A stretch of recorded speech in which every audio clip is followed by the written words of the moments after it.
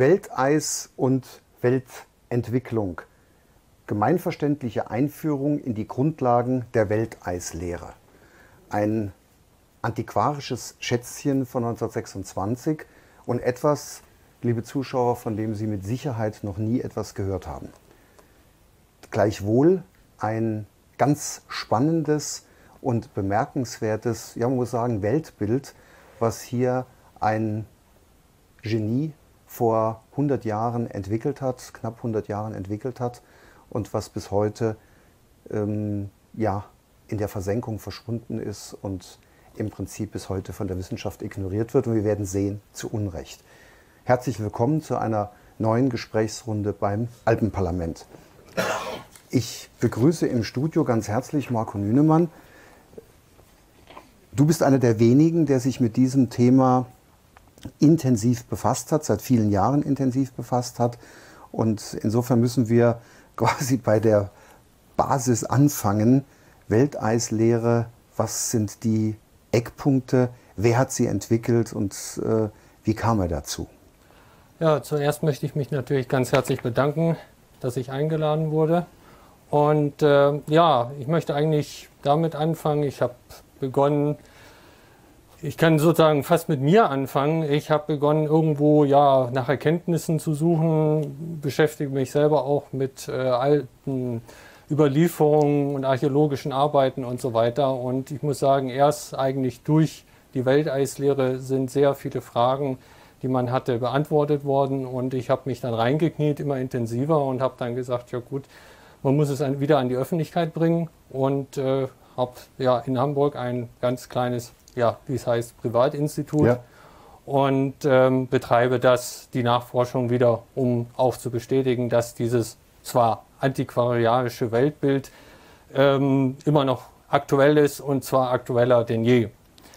Ähm, es war ja so, Hans Hörbiger hat vor über 100 Jahren, also es war im Jahre 1894, ich muss dazu sagen, er war Maschinenbauingenieur, also Techniker. Techniker ja, hat ja. mit äh, Wärme und Kälte gearbeitet, hat also sehr viel Praxis gehabt und war Erfinder, hat unter anderem auch das Hörbiger-Ventil erfunden, das wir heute überall noch in den Maschinen haben.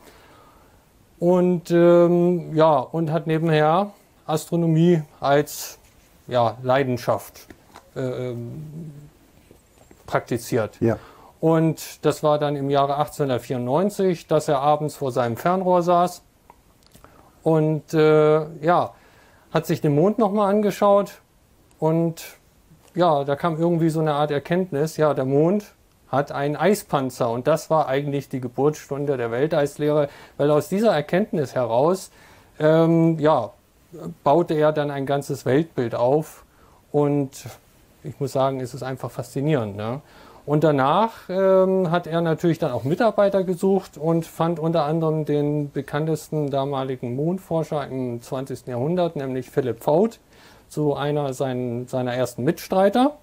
Und beide haben dann im Jahre 1913 das 800 Seiten dicke Buch, ich besitze es zu Hause, ähm, zusammen dann verfasst. Und das hat allein das Aufbauen dieses ganzen Buches hat ungefähr ja, fast zehn Jahre gebraucht und haben das dann 1913 herausgebracht.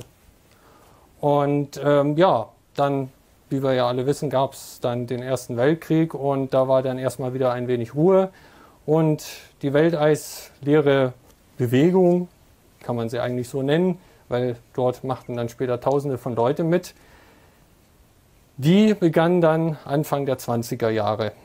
Ähm, es machten Professoren mit, Doktoren mit, Wissenschaftler mit, Ingenieure mit. Also es waren also keine, nicht der einfache Laie, sondern wirklich professionelle Leute, die nicht nur irgendwas am grünen Tisch entworfen haben, sondern sie mussten es praktisch.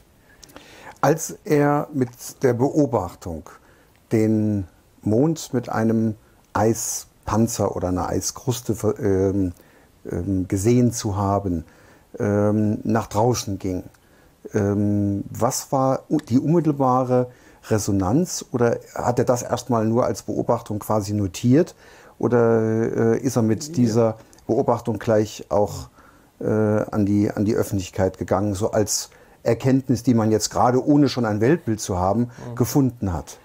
Ja, also es ergaben sich für ihn natürlich sehr viele Antworten aus dieser Erkenntnis und die hat er eigentlich, kann man sagen, kurz zusammengefasst ja. und hat dann aus diesen vielen Erkenntnissen hat er sich dann an verschiedene astronomische Gesellschaften, an, an Sternwarten, die waren ja damals noch viel kleiner, es waren ja noch nicht diese großen Vereinigungen wie heute, hat er sich dann gewandt und ja gut, ein großer Teil hat ihn ausgelacht, hat gesagt, was wollen Sie und, und das hat ihn auch ziemlich hart getroffen ähm, da er ja nicht gegen die Wissenschaft war, sondern er wollte der Wissenschaft durch diese Erkenntnisse, die er dann über die, Lau über, ja, über die Jahre ausgearbeitet hat, wollte er ja sozusagen helfen, ihnen Antworten zu geben. Und das hat die Wissenschaft abgelehnt. Gründe, einer der bekanntesten Gründe oder der, der, ja, der Hauptgründe war eigentlich der Streit sozusagen Plutonismus, also der noch bis heute und Darwinismus, der in der Wissenschaft ja vorherrschend ist, also der Plutonismus. Das heißt, dass alles aus Gas und irdischen, irdisch sein muss. Das heißt, unsere inneren Planeten, ähm, Merkur, Venus, Erde, Mars, die sind irdischen Charakters und die äußeren müssen mehr oder weniger haben zwar irgendwo einen irdischen Kern, sollen aber nach dem heutigen Weltbild ähm, ja, mehr oder weniger aus Gasen bestehen. Und nach Hörbiger ist das Unfug und auch nach den anderen Ingenieuren, denn Gase dehnen sich bekanntlich aus und ziehen sich nicht zusammen. Das heißt, ähm, er würde ein Fragezeichen hinter die Definition eines Planeten, der rein gasförmig ist, wie man das ja beispielsweise beim Jupiter behauptet, äh, machen, ähm, weil er sagt oder sagen würde, dieser äh, Planet kann gar nicht bestehen aufgrund der klassischen Eigenschaft eines Gases. Verstehe ich das richtig? Richtig, richtig. Er sagt einfach, es, es geht nicht, Gase dehnen sich bekanntlich aus. Und das, was man uns, und, der, und das Interessante ist, wenn man sich mit der damaligen Literatur beschäftigt, stellt man fest, dass zum Beispiel im Jahre 1939 ungefähr hat sogar die Wissenschaft, die offizielle Schulwissenschaft zugegeben, dass der Jupiter womöglich einen Eispanzer hätte. Und der Witz ist, irgendwann ist dieses Weltbild wieder gekippt worden. Also gerade man, wenn man die alte Literatur durchgeht, gab es damals Gott sei Dank in der Wissenschaft noch ein Hin und Her, wo die einen sagten, ja, das sieht so aus oder so aus, aber meines Erachtens nach gibt es das heute nicht mehr. Also man hat sich irgendwo wieder festgesetzt und hat gesagt, ja gut, man gibt hier und da mal was zu oder eine Veränderung, aber an sich muss das immer noch in diesem alten Schema also, weiterlaufen. Das haben wir ja leider Gottes. Äh, da ist dein äh, oder, oder Hörbigers ähm, Erfahrung und, der, und sein Bereich ja keine, äh, keine solitäre Erscheinung immer wieder, dass Schulwissenschaft sich auf ein bestimmtes Erklärungsmodell festgeschossen hat und Querköpfe an sich und Quereinsteiger oder Querargumente äh, an sich nie akzeptieren möchte. Das ist äh, das Schicksal von, von Querdenkern, dass sie da äh, immer gegen Betonwände laufen. Ähm, interessant ist nur, wenn man äh, Ende der 30er Jahre ein solches Zugeständnis, eine solche Erklärung äh, äh, abgegeben hat, hätte man ja, was die Struktur dieses Planeten betrifft, ähm, eine völlig andere Erklärung plötzlich geben müssen. Also es bedeutet ja eigentlich ein, eine auch eine ganz andere Beschreibung dessen. Also wenn man das, was man hier die Schulbücher, die gehen ja unverändert äh, und ohne Wenn und Aber von dieser Gasförmigkeit aus. Und äh, äh, wie hätte man denn jetzt oder mit welcher Begründung hat man denn plötzlich gesagt, da gibt es einen Panzer drumherum, der äh, aus Eis ist? Also ich versuche das ganz kurz anhand ein paar Bilder, die ja. ich ja heute mitgebracht ja. habe, das ganz kurz darzustellen. Für viele wird es Neuland sein, für viele wird es vielleicht auch fantastisch klingen, aber ich versuche dieses, äh, ja, das Entstehen unseres Sonnensystems, also nicht des Weltalls, ja. weil so weit wollen wir gar nicht gehen. Wir sagen einfach unser Sonnensystem, wie das womöglich entstanden ist, versuche ich anhand ein paar Bilder ganz kurz darzustellen. Hier sehen wir noch mal kurz Hans Hörbiger, um, das noch, um ihn auch noch mal persönlich sozusagen in Anführungsstrichen, sage ich mal, kennenzulernen, ähm, im Jahre von 70, also 70 Jahren. Und was man erkennen kann, das vielleicht nur in Klammern, ja. ist auch die, äh, Verwandtschaft, logischerweise die natürliche zu seinen Söhnen, den ja. berühmten Schauspielern, äh, die ähm, äh, ja im äh, alten deutschen Film eine große Rolle gespielt haben, ja. bis aber auch in äh, die Mitte des 20. Äh, Jahrhunderts hinein. Dazu möchte ich nur ergänzen, gerade Paul Hörbiger ja. gleicht ihm sehr. Ja, und genau. man müsste natürlich jetzt Hans Hörbiger den Bart abrasieren, aber ich muss sagen, ja, gleicht ihm sehr. Ja. Also um ganz kurz die Entwicklung unseres Sonnensystems aufzuführen. Ähm, das Ganze hat begonnen, oder nach der Welteislehre beginnt sozusagen das Sonnensystem, in dem ein eisiger äh, Himmelskörper in einen glühenden eindringt. Der äh, eisige ist natürlich relativ kleiner als der glühende. Und ähm, in der Welteislehre nennt man das sozusagen Sternmutter. Also es ist ja auch hier so eine Art biologischer Ablauf eine Art Geburt, die dann stattfindet. Und dieser Glühen, äh, dieser, Entschuldigung, dieser eisige Körper umschlagt sich mit einer Art Hülle. Dort entsteht dann Druck, da ja das äh, Eis in Wasser wiederum in Dampf sich entwickelt und entsteht ein Hochdruck und bei der kleinsten Erschütterung gelangt dies zur Explosion, wie wir anhand des Bildes dort sehen, sehr gut sehen können. Äh, bei dieser Explosion wird nur ein Bruchteil von Glutstoffen in den Weltraum geschleudert. Also man kann sagen, 99 Prozent gehen eigentlich wieder auf diesen glühenden Riesenstern zurück. Und nur dieser kleine Bruchteil äh, ja, geht dann in den Weltraum. Und das ist eigentlich die Geburtsstunde unseres Sonnensystems. Gleichzeitig bei dieser Explosion wurde auch Sauerstoff äh, ja, freigesetzt. freigesetzt. Ja. Und dieses vermischt sich nun mit dem Wasserstoff im Weltraum, da ja auch der Weltraum nicht leer ist, sondern er hat nach der Welteislehre auch ein wenig Wasserstoff. Das dort. ist auch ein ganz wichtiger Unterschied, ja, genau. auf den du hier ein, ja, richtig. Genau.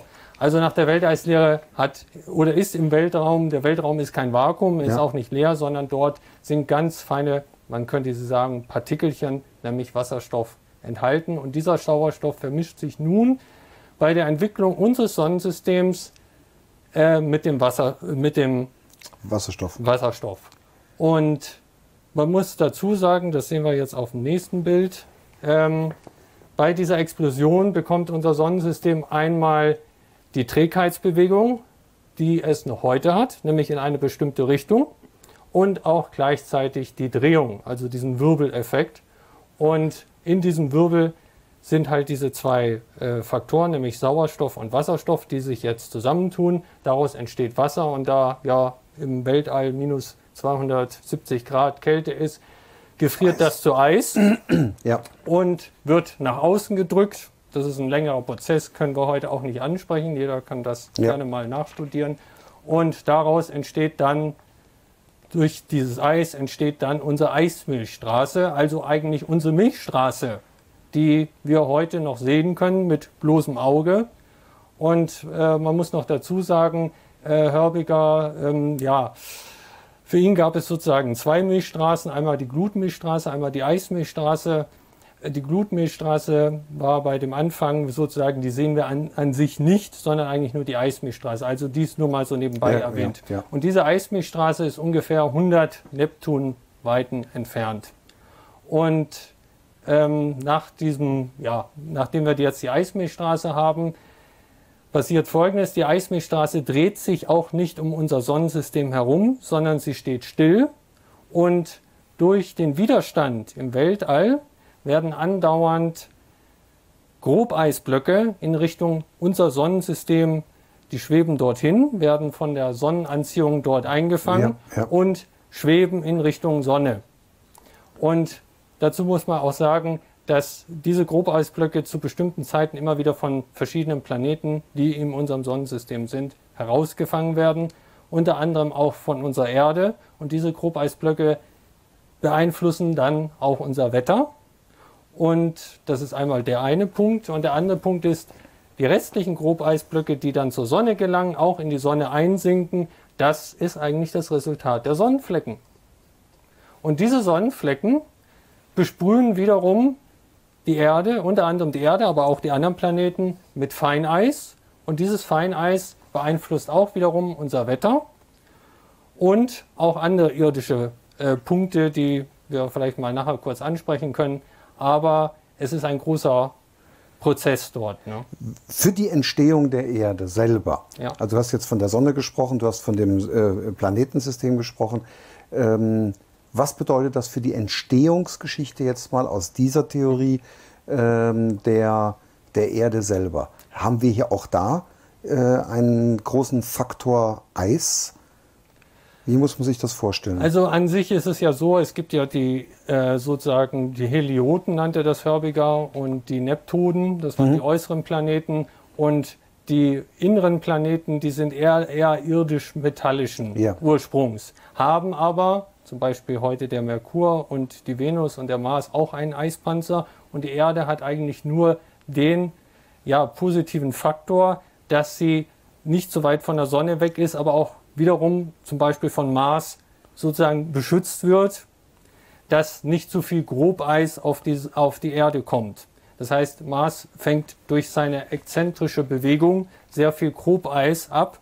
Und das können wir hier auch auf dem nächsten Bild mal ganz sehen. Das ist das, ja, so wie wir unser Sonnensystem heute kennen. Und wir sehen einmal dieser weiße Ring, das ist die äh, Eismilchstraße, aus der laufend Grobeisblöcke halt herausgebrochen werden und in Richtung unser Sonnensystem schweben und dadurch eine Art ja, zylindrischen Hut bilden und die Sonne ist dann sozusagen die Spitze am Mast. Und äh, für die Erde bedeutet das ja, wenn man jetzt noch fragen würde, die Erde, wie die sich entwickelt hat, ja gut, die war auch mal heiß aus, aus Glut, hat sich dann abgekühlt und jetzt kommt eigentlich der springende Punkt, nämlich woher kam das Wasser und woher kam die Luft mhm. für die Erde? Sie kam nämlich nur durch das Eis hier überhaupt auf die Erde. Also auch da hat es eine Art Eispanzer gegeben und dieser Eispanzer hat sich. Nein, also die Nein, Erde hatte überhaupt keinen hatte Eispanzer. Keinen Eispanzer. Überhaupt nie einen gehabt. Die anderen, das ist ja ein unglaublicher auch, was ich hier in, sage ich mal, fünf Minuten ja, erkläre, ja, ist, ist über klar. Millionen, Milliarden Jahre, das können ja. wir uns auch gar nicht vorstellen, das ist ein unglaublicher langer Prozess.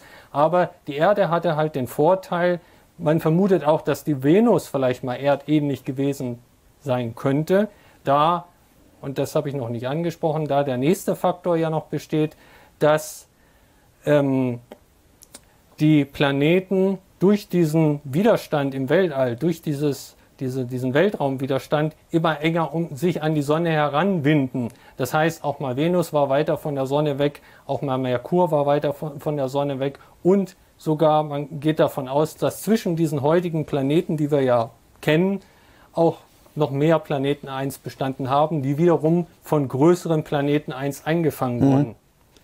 Also es ist ein unglaublich langer Prozess und wir ja, sitzen hier sozusagen fast am Ende des Prozesses, aber es wird noch lange dauern, bis irgendwann auch mal die Erde ist eine Vermutung der Welteislehrer, aber ich stimme denen voll bei, bis irgendwann auch die Erde einst in der Sonne verschwinden wird. Ne? Wir hatten die Frage angesprochen, wo kommt bei der Erde der Sauerstoff und das Wasser her? Ja. Äh, weil das ja den, den Planeten Erde als in einer besonderen Weise äh, äh, ausmacht. Wie ist das zu beantworten nach der Welteislehre? Also nach der Welteislehre ist einfach so, die Grubeisblöcke von der Eismilchstraße kommen auch auf die Erde, werden von der Erde eingefangen. Ähm, wir sehen dann die Effekte ja in Form von Wolken und Regen. Und Fakt ist ja, im Eis ist Sauerstoff und Wasserstoff enthalten. Klar. Und diese zwei Prozesse kamen halt auf die Erde. Und das ist eigentlich ganz faszinierend, weil es ist ja immer so, man spricht hier von Abkühlung, aber wo kommt das Wasser her? Keiner kann erklären, wo das Wasser herkommt. Und das Neueste, was ich jetzt gerade am Recherchieren bin, ist auch, wo kommt der Sauerstoff her? Und äh, da hatte ich ein ganz interessantes Interview gesehen von einem Herrn, der, ich kann es ja mal kurz erwähnen, der sagte, dass die Pflanzen äh, nicht, wie wir immer glaubten, Kohlendioxid aufnehmen und Sauerstoff abgeben, nämlich, sondern umgekehrt.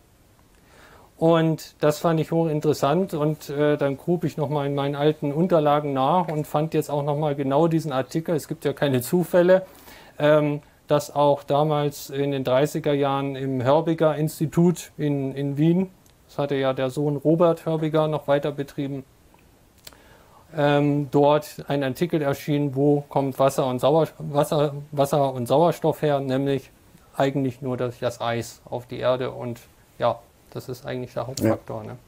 Gut, diese, diese äh, CO2-Debatte ist ja nochmal eine ganz andere im Zusammenhang mit der, mit der aktuellen äh, Diskussion. Da kämen wir nochmal auf bei der Frage, äh, was an dieser Lehre heute noch aktuell ist. Das heißt, nach dieser Vorstellung spielt das Thema Eis oder spielt die Rolle von Eis als Mantel um einen Planeten eine ganz entscheidende Rolle und äh, macht diese Planeten aus, im Unterschied zu der Theorie, äh, dass das eben zum Teil gasförmige oder, oder glühende. Also äh, dazu muss ich halt noch sagen, dass ähm, zum Beispiel die äußeren Planeten, ja. wie Jupiter, Neptun, Uranus und, und, und auch Saturn, ich habe es jetzt nicht in der Reihenfolge, ja, ja. aber jeder weiß es ja, äh, dass nach der Welteislehre sie nur einen kleinen, sozusagen metallischen, irdischen Kern als sich gebildet haben und durch diesen Eiszuzug äh, diese Planeten so viel Eis auf sich niedergeholt haben, dass dann um diese Planeten herum ein Eispanzer sich über die Jahrmillionen, Jahrmilliarden gebildet hat. Und, und es kommt noch der Faktor dazu, diese Planeten sind ja auch viel, viel weiter weg von der Sonne. Sie waren auch vor Jahrmilliarden auch viel, viel weiter weg von der Sonne. Das heißt, sie haben auch gar nicht die Möglichkeit gehabt, sage ich mal, so irdische Verhältnisse zu erlangen, wie wir sie heute haben. Also man kann wirklich sagen, ja, wir sind eigentlich, haben es gut. Wir sind die Einzigen, die in unserem Sonnensystem überhaupt eine Möglichkeit haben, äh, Leben hier zu schaffen. Ne? Also da die Erde halt von zwei Seiten von einmal vom Mars und auf der anderen Seite Merkur und Venus beschützt werden. Das ist so eine Art Schutzfunktion, dass nicht zu viel Regen, zu viel Eis auf die Erde niederkommt. Ne?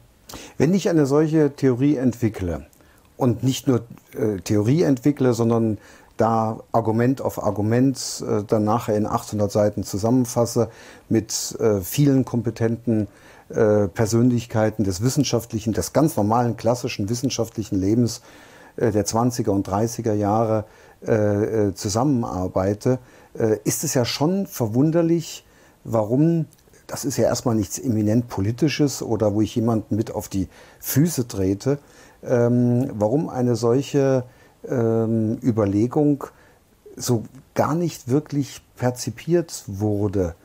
Äh, hast du da eine Erklärung für? Ja, also, we wem hat man denn ja. äh, auf die Zehen getreten mit, mit einer solchen äh, Überlegung, äh, dass so etwas so ganz an die Ecke und an den Rand geschoben wurde? Also ich hatte es ja am Anfang schon gesagt, also der Sinn der Welteislehre oder der Sinn hörbigischer Gedanken hängt eigentlich damit zusammen, der Wissenschaft zu helfen, ja, ihnen eben. Antworten zu geben. Aber man hat ihm auch immer gerne vorgeworfen, ja, hättest du dich nur auf einen Bereich beschränkt, zum Beispiel die Astronomie.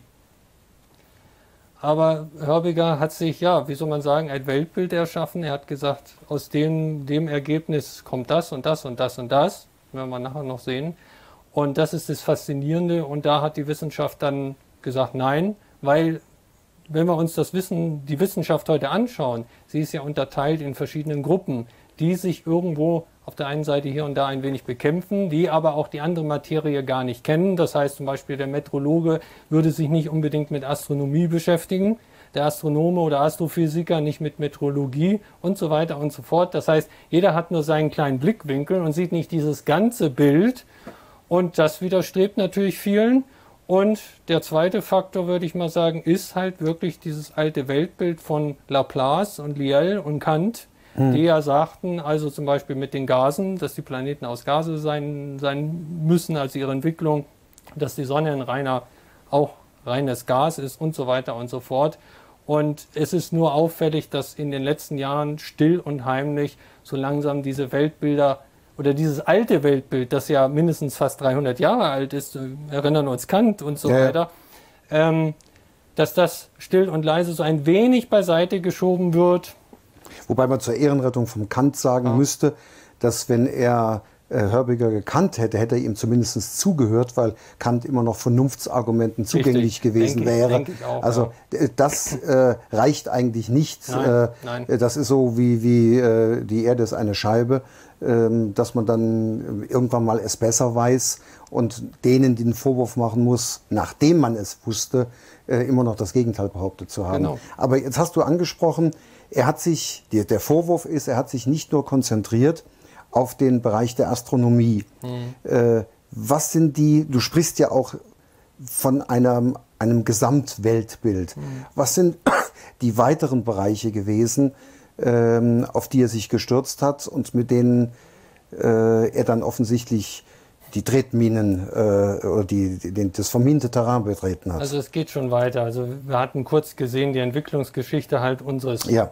ne, Sonnensystems und ich hatte schon angedeutet, dass diese, dieses Grobeis aus der Eismilch, Eismilchstraße unser Wetter beeinflussen. Da kommen wir schon in den nächsten Bereich, ja. nämlich die Meteorologie. Ja. So, und die Meteorologie hat sich eigentlich fest äh, gezimmert in dem Glauben, dass alles irdisch, das Wetter muss irdisch generell nur irdisch ablaufen. Wir kennen alle den Wasserkreislauf. Ich muss sagen, rein intuitiv habe ich dem nie viel abgewinnen können. Aber zur Ehrenrettung der Metrologie muss man sagen, den normalen Wasserkreislauf gibt es. Er hat auch kleine Einwirkungen auf unser Wetter, aber nicht die wirklich, er kann zum Beispiel nicht die wirklich großen Stürme erklären, er kann nicht die großen Hagel erklären, er ja, kann nicht ja. die verschiedenen Naturkatastrophen erklären. Das wäre ein Punkt. Dann geht die, die, die ganze Ansicht geht ja dann in die äh, Biologie, in die ähm, Paläontologie, in die Archäologie, also in die Sintflutsagen und so weiter. Also es ist ein riesengroßes Weltbild. Äh, und das Schöne ist, dass man immer, ja, es ist alles verkettet. So, es, es sind alles logische Schlüsse, es ist in sich logisch. Und das ist auch der Punkt, das muss ich auch nochmal sagen, warum damals, und das hat die Wissenschaft sehr geärgert in den 20er, 30er Jahren, so viele Leute begeistert sich mit der Welteislehre beschäftigt haben. Also es waren wirklich Tausende von Leute vom, sag ich mal, vom obersten Professoren bis zum einfachen Bahnarbeiter, die sich auch, ähm, als Herbigers Buch rauskam, dieser dicke Wälzer, 1913, der kostete 50 Reichsmark. Ja. So, das war viel. Das war verdammt viel. Ja, und da hat sogar ein einfacher Bahnarbeiter hat sich ja. das gegönnt, weil er völlig fasziniert war, weil er gesagt hat, es ist in sich logisch und ich kann es sehen sozusagen. Ne? Lass uns doch, du hast angesprochen ja. Meteorologie. Die ja. anderen ja. Tretminen äh, arbeiten wir Stück für Stück ab. Äh, was ist die Erklärung? Wir reden jetzt nicht von äh, irgendeinem kleinen Schauer oder dass mhm. mal ein bisschen Schnee fällt. Was ist die Erklärung aus dem Modell der Welteislehre heraus? wie äh, Naturkatastrophen, Sintfluten, Tsunamis und ähnliches äh, äh, entstehen. Was ist da, wie, fun wie funktioniert das nach seiner Theorie? Ich glaube, das müsste jetzt, ich komme gleich drauf, das müsste jetzt, glaube ich, das nächste Bild sein. Das sehen wir jetzt hier. Ähm, das ist sozusagen dieser Eistrichter, dieser Grobeistrichter, den wir ja, ich machen nochmal das eine Bild zurück. Hier sehen wir ja nochmal diesen Grobeistrichter auf dem Bild hier ganz schön dargestellt. Und ähm, wir sehen am Spitze in der Mitte sehen wir die Sonne und wir sehen dann die verschiedenen, dort die verschiedenen äh, Monatsnamen und es ist so, dass unsere Erde, aber nicht nur unsere Erde, auch die anderen Planeten zu bestimmten Zeiten immer diesen Eistrichter, er ist wie ein Trichter, durchlaufen. Das heißt zum Beispiel, wir kennen das alle, Juli, August, gerade August haben wir äh, sehr starke Gewitter. Also hier, ich spreche jetzt mal von Europa, sehr starke Gewitter. Dann im September können wir uns meistens mhm. freuen. Mhm. Da haben wir meistens einen schönen sonnigen Herbst. Das hängt damit zusammen, dass wir uns sozusagen in diesem Eistrichter in der Mitte befinden. Das ist wie, in, in, wie eine Art Hurrikan. Äh, in der Mitte findet das ja nicht statt. Richtig, ne? richtig. Und erst beim Austritt, das ist dann im Oktober, November, fängt dann sozusagen die Vor, Vor, Vorschneeperiode an. Ja, ja. Und da treten wir dann aus diesem Eistrichter wieder heraus. Und ähm, das Ganze, ja, Dezember, Januar, das sind dann so die normalen Faktoren. Das ist dann, das würde jetzt zu weit führen, aber das hängt damit zusammen, dass auch sehr viel äh, dieser, dieser Grobeisstücke, die sind ja riesengroß, abgelenkt werden von verschiedenen Planeten. Das heißt, die kommen erst später zur Erde und so weiter und so fort. Und äh, dazu muss ich oder möchte ich es noch sagen, im Jahr 97, 1997 hat ein Wissenschaftler in den USA Herbigers These nochmal bestätigt, dass täglich die Erde von häusergroßen und gebäudegroßen Eisbrocken bestürmt wird. Ja. Hat er nochmal bestätigt, weil sie haben das ja per Satelliten festgestellt, dass da was kommt. Wir sehen das Ganze dann nur als Wolke, als Riesenwolke, als Hagel. Also wir sehen jetzt nicht sozusagen in dem Sinne einen großen Eisbrocken. Es gab Fälle, da sehen wir gleich noch ein Bild dazu, wo dann wirklich ein riesengroßer Eisbrocken herniederfiel. Aber ähm, ja gut, ähm, Hagel ist das bekannteste. Es gibt verschiedene Größen. Und ähm, im Jahr 2000 hatte man zum Beispiel in Spanien, hatte man sich gewundert, da fielen immer große Hagelbrocken hernieder. Also die waren mindestens so diese Größe. Ja, ja, und hat auch die Runde gemacht. Und äh, ja, die wissen, also die Metrologen und die Wissenschaftler waren völlig, ja, konnten es nicht wirklich erklären, haben dann wie haben sie es genannt? Ich glaube, äh, Makrometeoriten oder so. Aber sie hatten keine wirkliche Erklärung dafür, wo das herkommt. Ne? Also man hilft sich dann immer mit irgendeinem Fremdwort, ja, das ist genau. schon klar. Ähm, Sintfluten. Er ähm, erklärt ja auch mit der Welteislehre, wie so etwas, also solche echten Naturkatastrophen größeren Ausmaßes, Richtig.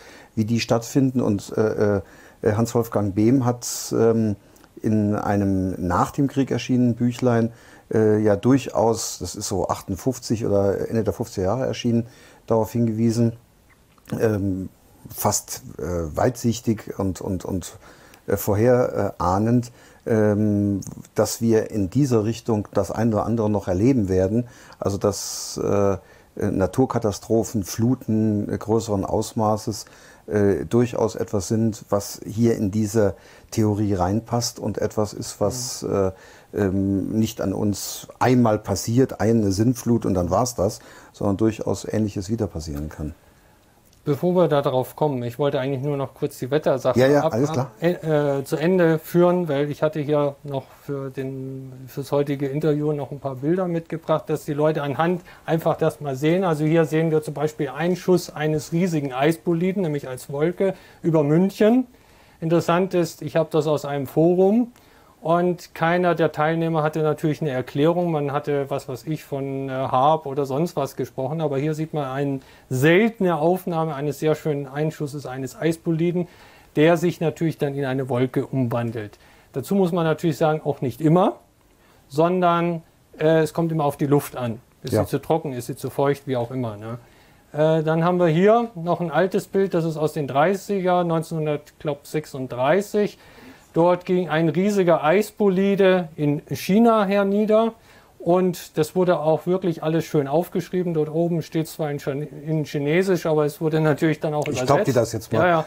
Und ähm, ein riesiger, also 500 bis 600 ja. Pfund schwer. Das sind 250 Kilogramm. Ne? Und auch ähm, britische, damals als in Indien, haben auch, auch, auch die damaligen Kolonialherren, die Engländer, auch immer wieder Eisboliden, Niederfälle dort verzeichnet die ähm, riesengroß waren und äh, auch unglaublich kalt. Unglaublich kalt, also die Weltraumkälte sozusagen mitbringen. Ne? Und das haben wir ja auch bei einem Hagelwetter, dass das ganz schnell kommt, über uns rüberzieht und plötzlich wieder Sonnenschein ist. Und das sind eigentlich Eisboliden. Ne? Das, ja. das, widerspricht auch dem üblichen Wasserkreislauf. Ähm, Dazu wollte ich auch noch kurz was sagen. Also nicht nur die Grobeisblöcke beeinflussen das Wetter, sondern auch unsere Sonne, nämlich die Sonnenflecken. Ja. Immerhin, das hat ja die Wissenschaft auch zugegeben, dass durch die Sonnenflecken irgendwas auf der Erde stattfindet, ob das elektronische Ausfälle sind, Satellitenausfälle und so weiter. Ähm, es ist so, dass ja in die Sonne auch diese äh, Eisblöcke einschießen. Man hat jetzt erst äh, vor, glaube vor einem Monat hat die NASA sogar eine Aufnahme gezeigt, wie und hat es zugegeben, dass Eis in die Sonne einschießt. Sie haben einen Kometen oder eine Sternschnuppe gefilmt. Ob es Zufall war, weiß ich nicht. Sie haben es gefilmt, wie sie dort in die Sonne eindringt und ein Flecken verursacht. Ein Flecken ja, verursacht. Ja. Was ja auch logisch ist, ja, wenn ich mit hohen Minustemperaturen dort auftreffe, passiert, äh, muss eigentlich eine Verdunklung oder eine Flecken entstehen. Ja, nein, es, es funktioniert eigentlich dasselbe wie unser Sternensystem, nämlich dieser Eiskörper schmilzt zwar an, mhm. dringt dann dort in die Sonne ein, die ja nicht nur aus Gase besteht, ja. sondern eigentlich auch ein, ja, ein, einen feuerflüssigen Kern hat und auf dieser lagert sich, dann, lagert sich dann die Gase übereinander ab.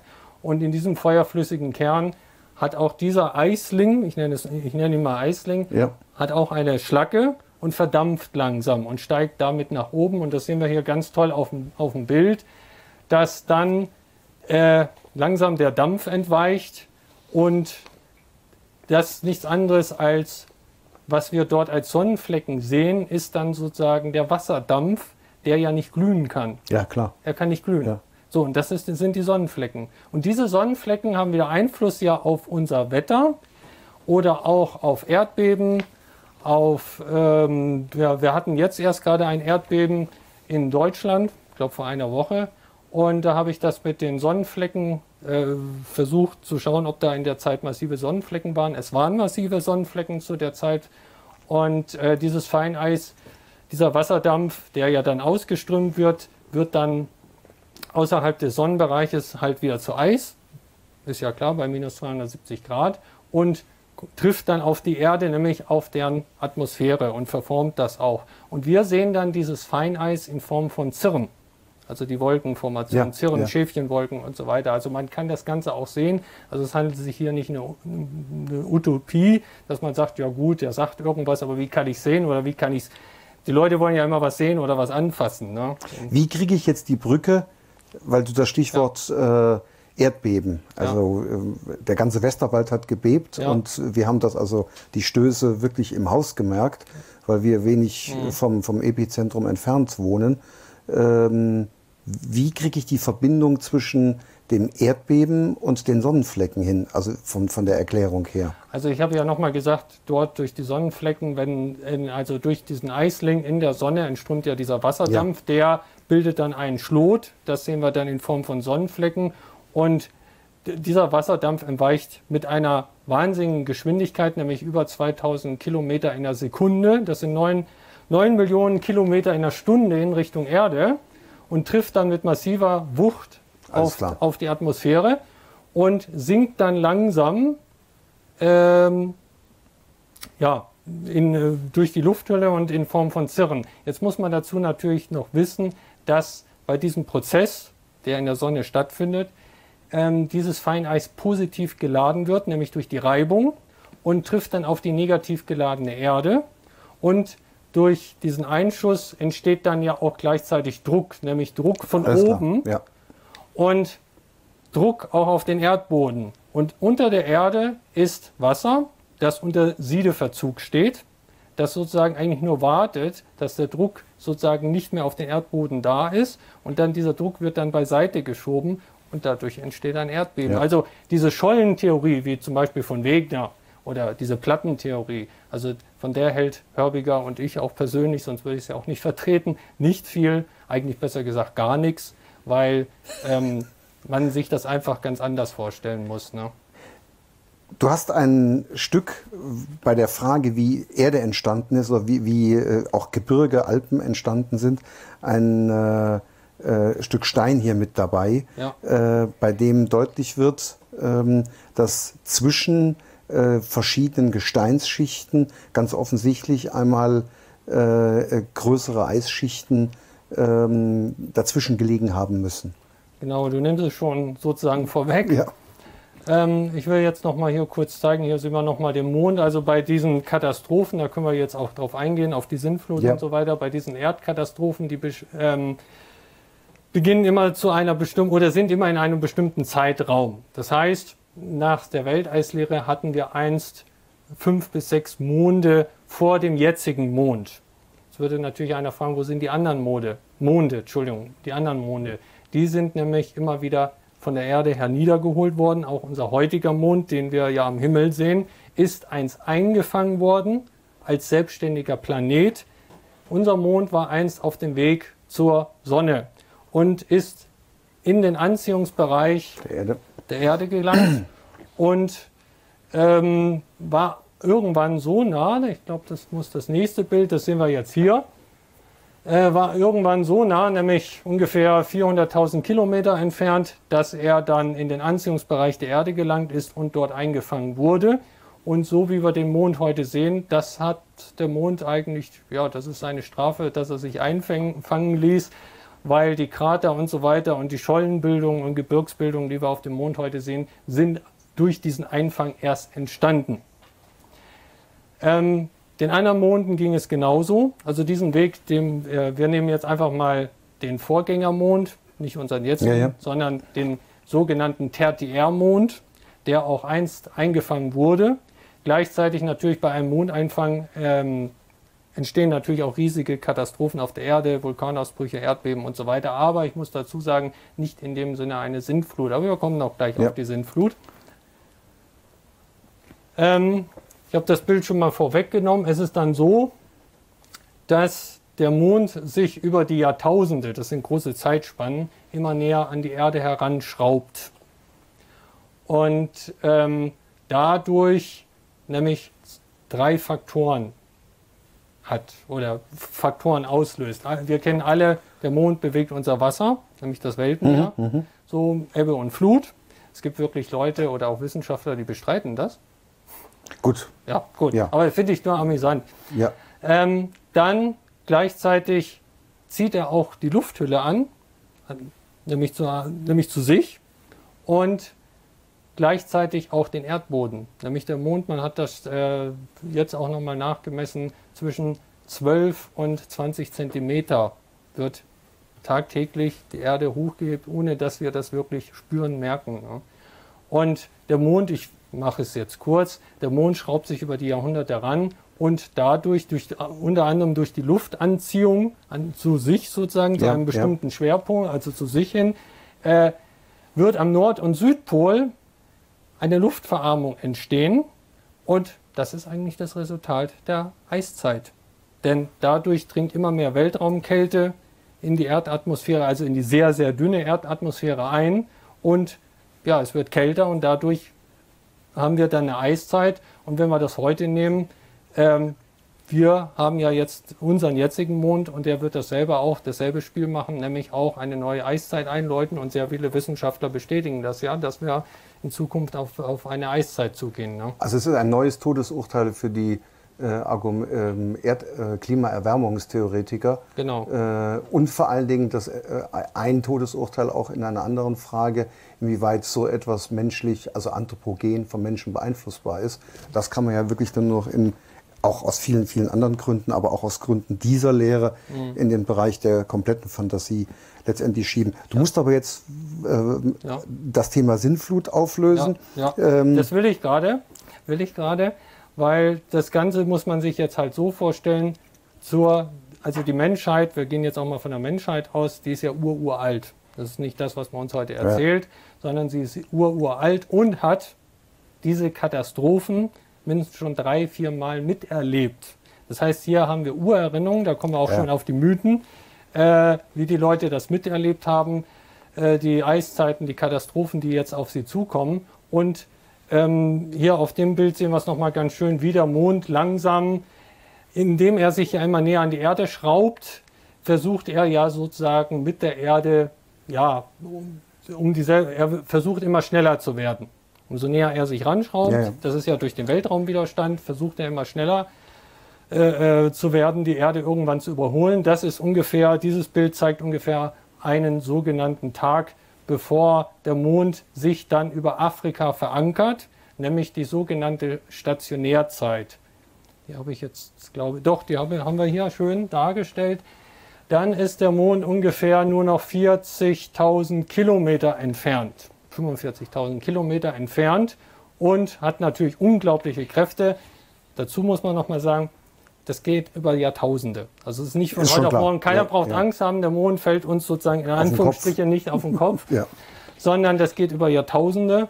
Und hier diese Verankerung, diese scheinbare Verankerung, nämlich über Afrika, weil dort die meiste Schwerkraft vorhanden ist, pendelt der Mond wir wissen ja, der Mond pendelt 5 Grad nach Süden, 5 Grad nach Norden. Er ist ja im äquatorialen Bereich, pendelt nach Norden und Süden und schleppt die Wasser nach Norden und Süden. Das heißt, das sind zwei riesengroße Flutberge, die sich, das habe ich noch nicht erwähnt, aber das sage ich jetzt, die sich sozusagen aufstauen. Das heißt, das Wasser ja. im Äquatorgebiet steigt immer mehr auf und wir haben nachher eine Höhe von 2.000, 3.000 Meter.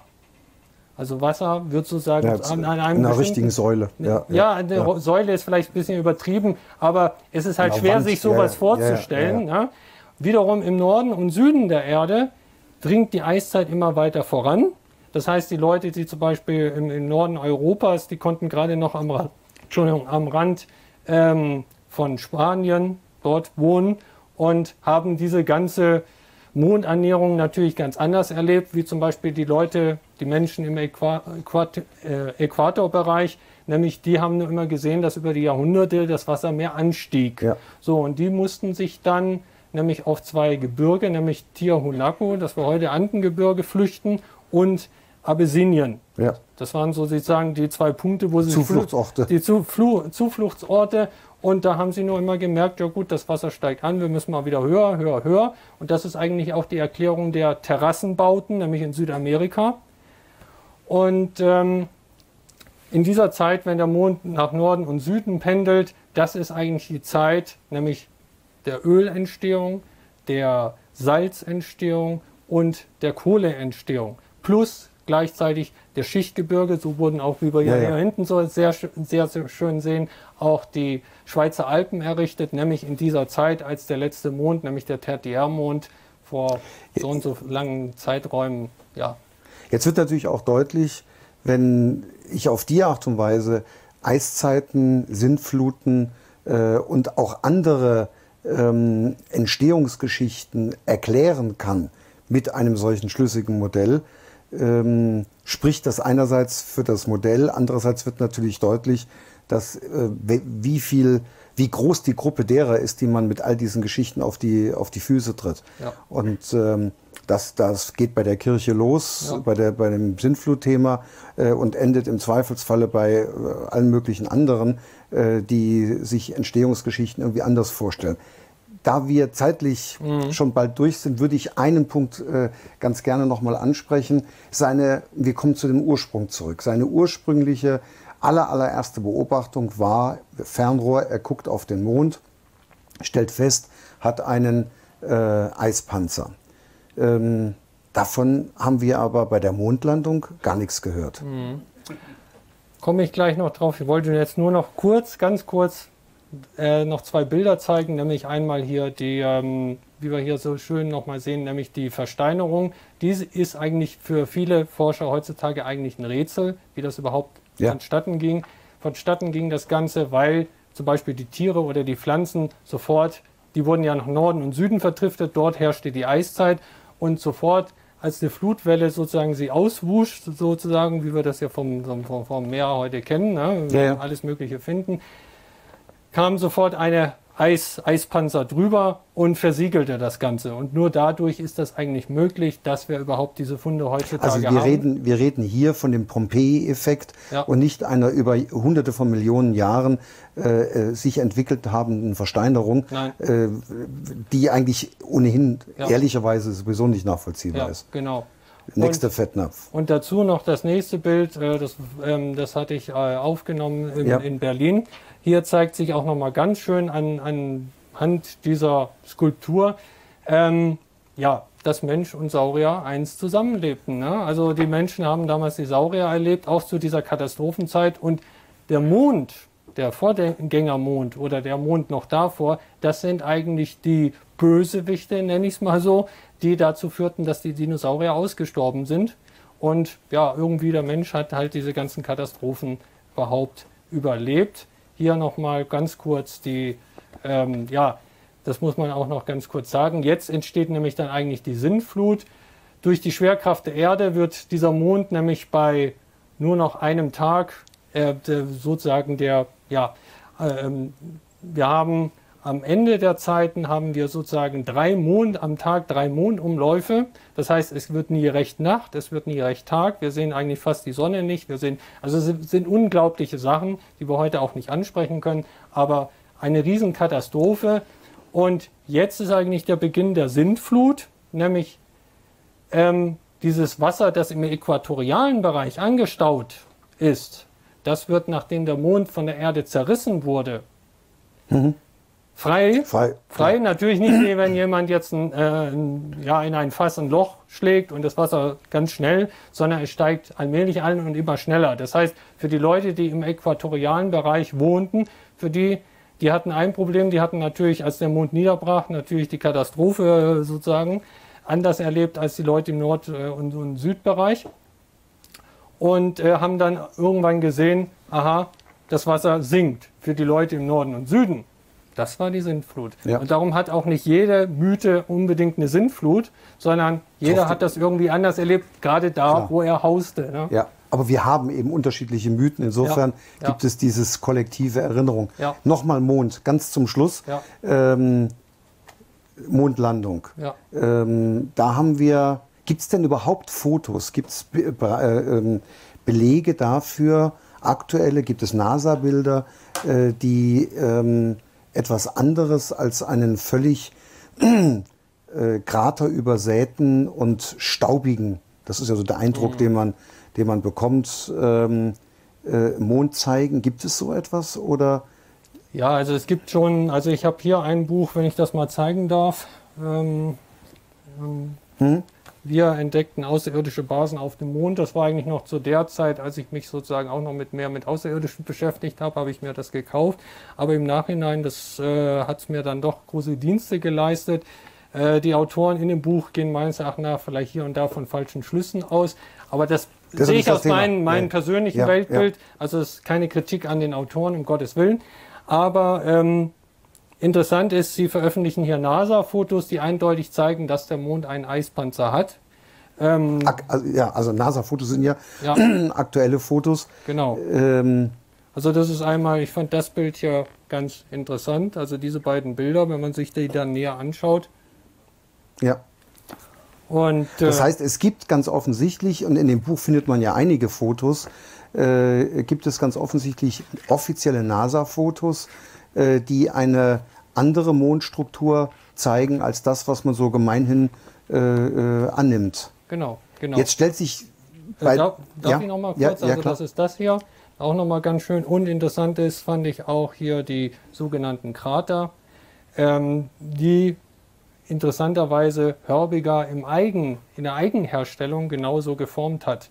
Denn seine Theorie oder seine Vermutung geht darauf aus, dass die Krater von unten entstanden sind und nicht, wie man uns heute sagt, durch Meteoriten oder Vulkane. Ja, ja. Ja, also ich kann das sehr empfehlen, sich da, also es Gut. gibt die Bilder, die man sich da nochmal ja, anschauen kann. Ne? Man stellt sich bei dem ganzen Thema natürlich die Frage, was so furchtbar an einer solchen Lehre ist, dass äh, wenn äh, man auf dem Mond in eine Pfütze tritt, mhm. dies nicht auch der Weltöffentlichkeit gegenüber kommuniziert. Äh, die einzige Erklärung, die man da äh, andeuten könnte, ist, dass man äh, weder auf Staubig noch auf Pfützen überhaupt je getreten ist. Also dazu muss ich natürlich noch sagen, es ist natürlich Staub auf dem Mond vorhanden. Ja. Das wird auch gar nicht bestritten. Bloß dieser Staub ist nicht vom Mond selber, sondern von den Meteoriten, die dort immer mal wieder auftreffen und einschlagen. Das ist also dieser sogenannte Mondstaub. Interessant, äh, man muss natürlich auch noch sagen, die Welteislehre wird deshalb auch noch kritisiert, weil sie endlich den Schlüssel nämlich zu Atlantis hat. Sie kann erklären, warum Atlantis nach dieser Katastrophe, nach diesem Mondniederbruch ist ja Atlantis sozusagen wieder aus den Fluten gestiegen. Noch ganz kurz das Bild, das wir hier sehen und auch die anderen Gebiete, weil der Wasserspiegel dann abgesunken ist. Er wurde nicht mehr vom Mond angezogen. Und das ist natürlich auch ein Punkt, die, äh, auch ein Punkt, warum man die Mond, äh, der Quatsch, die Welteislehre ja, ja, ja, angreift, weil sie auch irgendwo unsere Herkunft, die Urkultur, äh, äh ja. ja. belegen kann, ganz schlüssig und logisch und sagt, da und dort war das ja. aus den und den Gründen. Ne? Wir haben das Problem, dass wir 800 Seiten äh, in unserer kurzen Zeit nicht haben behandeln genau, können. Ja. Du hast uns einen ähm, Einblick gegeben äh, und viele, viele Informationen. Dafür ein ganz herzliches Dankeschön. Ähm, und äh, äh, es lohnt sich einfach da mal etwas genauer darauf hinzuschauen. Und es ist, glaube ich, deutlich geworden für den Zuschauer, wie groß die Dimension äh, der ähm, Punkte ist, mit der bei denen Hörbiger angeeckt ist mit ja. seiner äh, Arbeit. Und dann ist natürlich auch klar, dass man heute von einer solchen äh, Lehre nichts mehr wissen wollte. Genau. Liebe Zuschauer, ähm, es ist schwierig, sich mit diesem Thema ähm, auseinanderzus äh, auseinanderzusetzen und zu befassen, weil es äh, so gut wie gar nichts an aktuellen Publikationen gibt. Ich habe dieses äh, Büchlein von Hans-Wolfgang Behm, das ist aus 1926. Er hat dann nach dem Die Sintflut und ihre Wiederkehr, äh, ein äh, Büchlein aus Ende der 50er Jahre ähm, verfasst, was sich ebenfalls mit der Welt als Lehrer befasst. All das kriegt man antiquarisch, man bekommt es antiquarisch, das ist gar kein Problem. Und schließlich Eingriffe aus dem Kosmos, äh, ein äh, äh, Buch aus dem Jahre 1971, was sich äh, ebenfalls sehr umfangreich äh, und fachlich sehr differenziert mit diesem Thema auseinandersetzt und feststellt, dass die Grundannahmen, die Hörbaker vor über 100 Jahren gemacht haben, äh, so ganz still und heimlich inzwischen alle bestätigt wurden. Es gibt von Marco Nünemann eine Website, die blenden wir jetzt ein. Auch da gibt es eine Fülle von Material äh, zur Weltallslehre. Schauen Sie mal drauf. Es ist ein schwieriges Kapitel, aber es lohnt sich im Zweifelsfalle doch einfach mal auch äh, den Horizont in dieser Richtung zu erweitern. Vielen Dank für die Geduld und vielen Dank für das, die Aufmerksamkeit bei einem in der Tat komplexen und schwierigen Thema. Tschüss und auf Wiedersehen bis zum nächsten Mal beim Alpenparlament.